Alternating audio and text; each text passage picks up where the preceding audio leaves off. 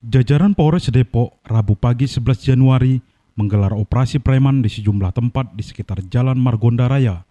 Dalam operasi ini, petugas meringkus 60 preman dan menyita puluhan botol miras dari sebuah warung rokok, 34 bungkus plastik ciu siap jual, dan sejumlah senjata tajam dari posko sebuah ormas di sekitar Terminal Depok. Kapolres Depok, Kombes Mulyadi Kahami mengatakan, Operasi ini digelar untuk menjawab keresahan masyarakat akibat banyaknya bentrokan yang terjadi antara ormas di wilayah Depok belakangan ini. Dari Depok, Angga Pahlevi, Poskota TV melaporkan.